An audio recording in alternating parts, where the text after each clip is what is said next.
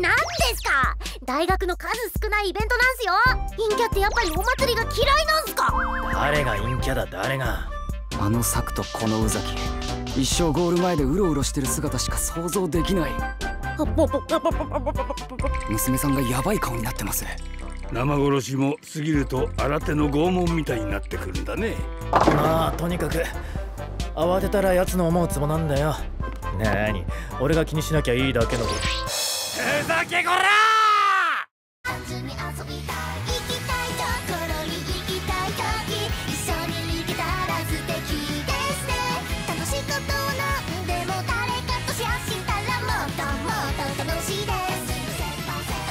二人で存分に学祭デートを楽しんでくれ。そんなんじゃねえし花ちゃんにエロい制服で仕事させたい。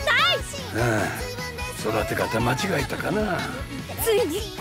そういう流れよいよ大物なってきたな。つまり花そいつのこと好きや ち違う。だからかわいそうだから私が構ってあげてるの。それで今日ついにはい。ついに花と。抱かせてもらいました。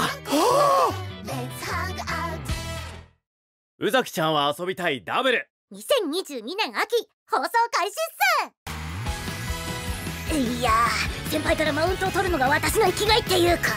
俺も宇崎にだけは負けたくねえし。もう言います本当に見えたお前。負けませんよ先輩